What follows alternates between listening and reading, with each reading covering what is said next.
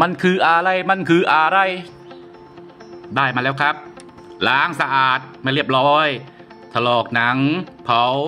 ขูดเกล็ดออก เอาก้างออก อันนี้คือส่วนผสมที่เป็นเครื่องปรุง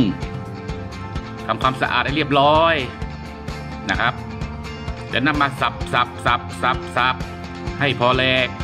ไม่ต้องให้ละเอียดมาก นี่วิวในครัว สวยไหมติดคลอง ตั้งกระทะ อันนี้คืออะไรเหล้าครับเหล้าเทลงไป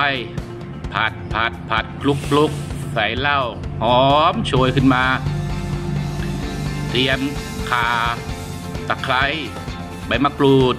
โคลกโคลกแล้วก็เครื่องแกงที่ได้มา เทลงไปผัดส่วนผสมคลุกให้เข้ากันใส่ขิงใส่ขา ส่เครื่องปรุงเยาะเครื่องปรุงโรยด้วยใบมะกรูด สุดท้ายได้แบบนี้น่ากินใช่ไหมล่ะ อร่อยครับ